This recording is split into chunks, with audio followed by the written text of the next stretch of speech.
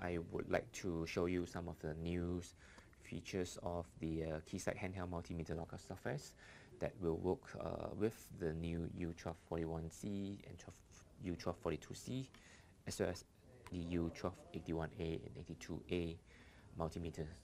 Right, let me uh, proceed to the software. So this is the new interface of the Keysight handheld meter logger software and we have a multifunction. For example, the default mode is the graphical modes.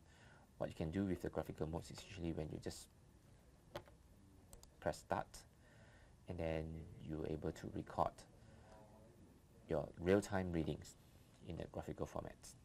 Right? You can see it in the tabular format as well. It captures readings every second right, from your multimeters.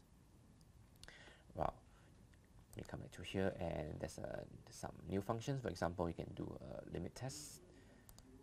Just click on it and then you can set the upper and lower limits.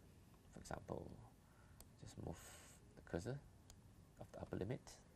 Then you can see uh, some points actually exceeded the limits.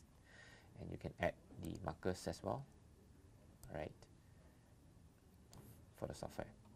All right. Um, some unique features for the U1241C uh, and 42C as well as the 81A and 82A is the high-speed data modes.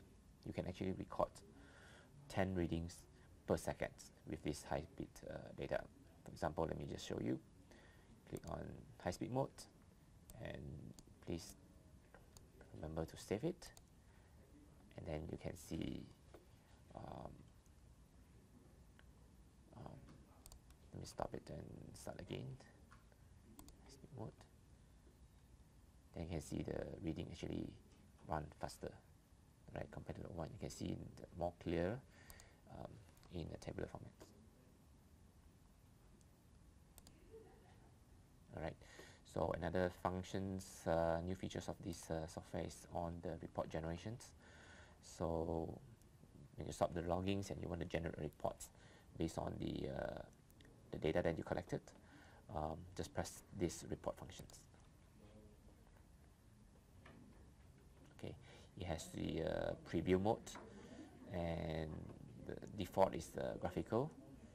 And you can also have the tab table view as well and graphic and table right? And also some statistic like the uh, limit test uh, distributions as well as for the manual logs.